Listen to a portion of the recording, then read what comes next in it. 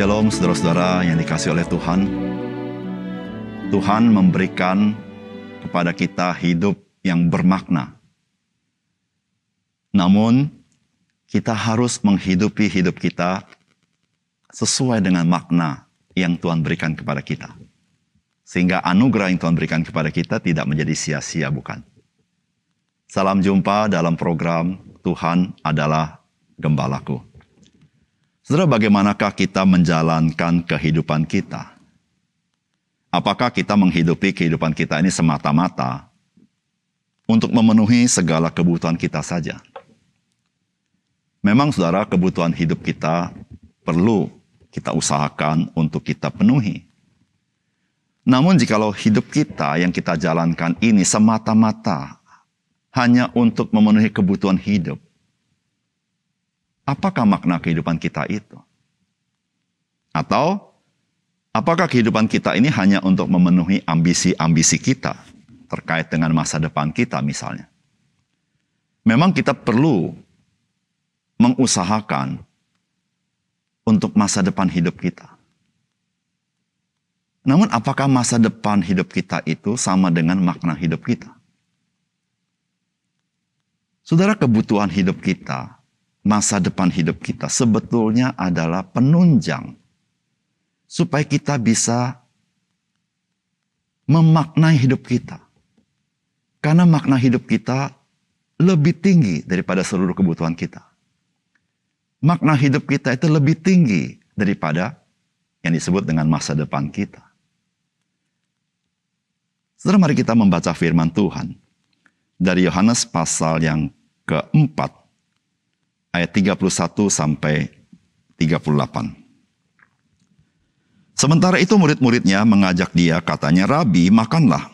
Akan tetapi ia berkata kepada mereka, padaku ada makanan yang tidak kamu kenal maka murid-murid itu berkata seorang kepada yang lain, adakah orang yang telah membawa sesuatu kepadanya untuk dimakan? Kata Yesus kepada mereka, makananku ialah melakukan kehendak dia yang mengutus aku dan menyelesaikan pekerjaannya. Bukankah kamu mengatakan empat bulan lagi tibalah musim menuai? Tetapi aku berkata kepadamu, lihatlah sekelilingmu dan pandanglah ladang-ladang yang sudah menguning dan matang untuk dituai. Sekarang juga penuai telah menerima upahnya dan ia mengumpulkan buah untuk hidup yang kekal. Sehingga penabur dan penuai sama-sama bersuka cita. Sebab dalam hal ini benarlah peribahasa, yang seorang menabur dan yang lain menuai. Aku mengutus kamu untuk menuai apa yang tidak kamu usahakan. Orang-orang lain berusaha, dan kamu datang memetik hasil usaha mereka. Saudara yang dikasih oleh Tuhan, menjadi murid Tuhan Yesus pada zaman dahulu itu berbeda sekali dengan kondisi hari ini. Seseorang itu menjadi murid misalnya sekolah. Karena menjadi murid Tuhan Yesus pada zaman dahulu, seorang murid itu adalah melayani gurunya. Oleh karena tidak heran, pada saat Tuhan Yesus harus makan, maka murid-muridnya lah yang menyiapkan mencari makanan bagi Tuhan Yesus. Dan pada peristiwa ini mereka sudah menyiapkan makanan dan mereka datang kepada Yesus. Dan mereka memang heran Tuhan Yesus itu berbicara dengan seorang perempuan. Karena pada zaman dahulu para rabi itu enggan mengajar perempuan.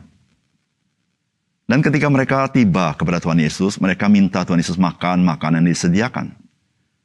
Dan pada kesempatan itu, sebagaimana biasa Tuhan Yesus, di dalam banyak peristiwa ada ajaran penting yang Tuhan Yesus mau sampaikan kepada murid-muridnya. Dan kali ini terkait dengan misi Yesus Kristus ketika ia datang ke dalam dunia. Saudara, apakah pesan firman Tuhan yang penting bagi kita melalui bagian ini? Yang pertama,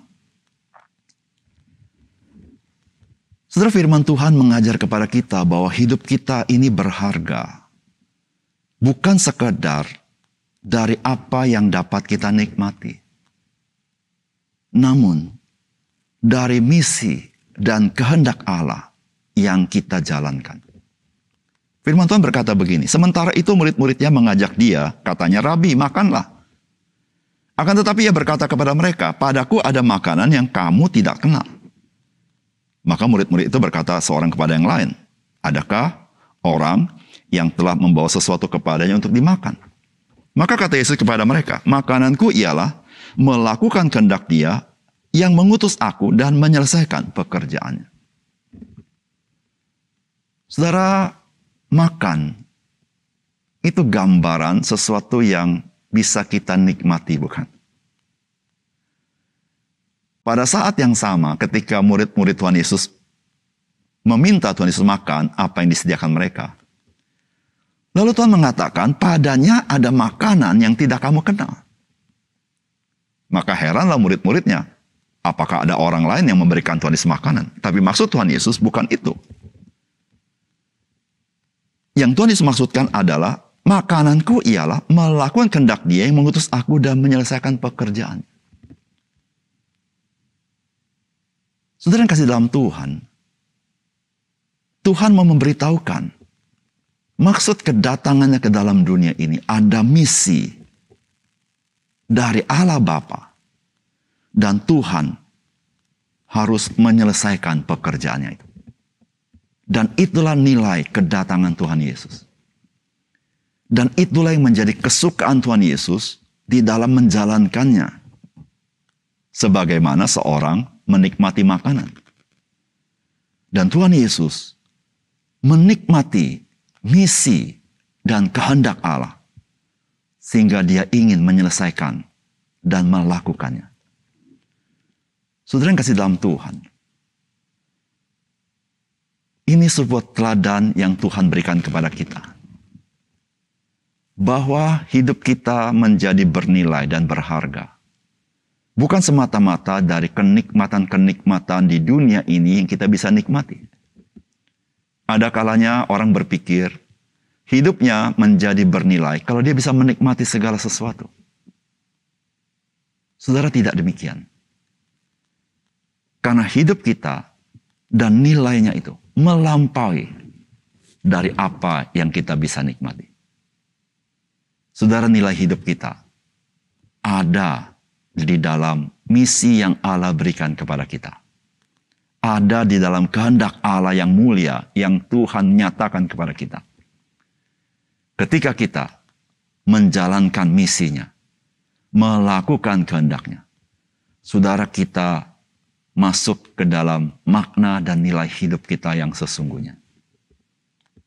Saudara yang kasih dalam Tuhan, jikalau kita mengejar kenikmatan hidup ini, kita sedang kehilangan makna hidup kita. Pada akhirnya semuanya hampa. Namun, jikalau kita menyukai misi Allah dalam hidup kita, menyukai kehendak Allah dalam hidup kita, maka hidup kita penuh dengan nilai dan makna yang kekal. Karena itu, yang Tuhan kehendaki dalam hidup kita. Yang kedua, setelah firman Tuhan hari ini mengajar kepada kita, setiap masa ada kesempatan yang khusus yang Tuhan sediakan bagi kita. Oleh karena itu marilah kita gunakan kesempatan yang berharga itu yang Tuhan sediakan sekarang ini. Saudara firman Tuhan berkata begini, bukankah kamu mengatakan empat bulan lagi tibalah musim menuai? Tetapi aku berkata kepadamu, lihatlah sekelilingmu dan pandanglah ladang-ladang yang sudah menguning dan matang untuk dituai. Sekarang juga penuai telah menerima upahnya dan ia mengumpulkan buah untuk hidup yang kekal. Sehingga penabur dan penuai sama-sama bersuka cita. Sebab dalam hal ini benarlah peribahasa yang seorang menabur yang lain menuai. Aku mengutus kamu untuk menuai apa yang tidak kamu usahakan. Orang-orang lain berusaha dan kamu datang memetik hasil usaha mereka. Saudara-saudara, di dalam pertanian memang ada musim-musim di mana harus menuai. Maka dikatakan Tuhan Yesus, empat bulan lagi tibalah musim menuai. Namun tentu apa yang Yesus katakan ini bukan bicara pertanian. Tapi yang Tuhan Yesus katakan saat ini adalah sebuah kesempatan di mana ada begitu banyak orang yang siap untuk mendengar kabar baik. Dan kesiapan mereka ini sebetulnya ada orang-orang lain yang telah menaburkannya. Dan sekarang murid-muridnya Tuhan Yesus katakan, sekarang kamu menjadi penuainya.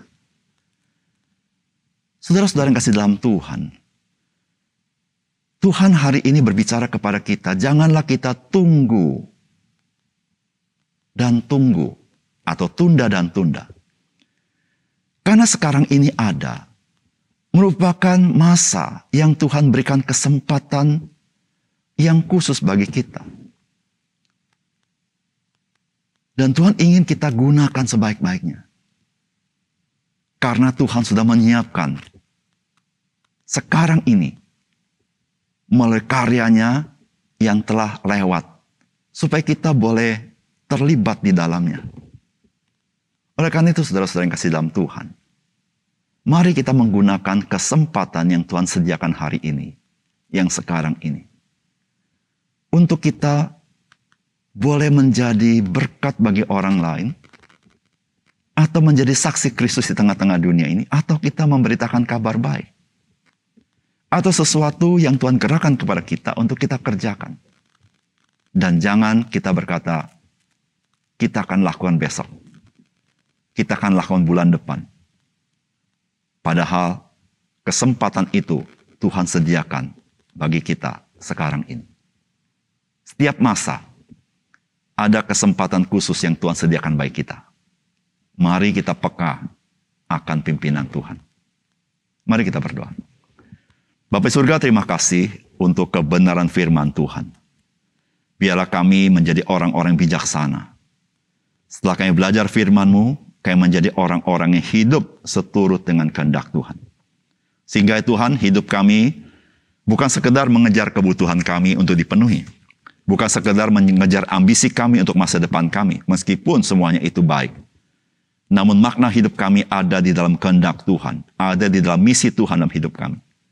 Ya Tuhan biarlah kebutuhan yang Tuhan siapkan bagi kami, masa depan yang Tuhan sediakan bagi kami, itu menjadi penunjang bagi kami untuk kami menghidupi kehendak Tuhan, menghidupi misi Tuhan. Sebagaimana Tuhan Yesus memberikan teladan kepada kami. Terima kasih Tuhan, dalam nama Tuhan Yesus kami berdoa. Amin.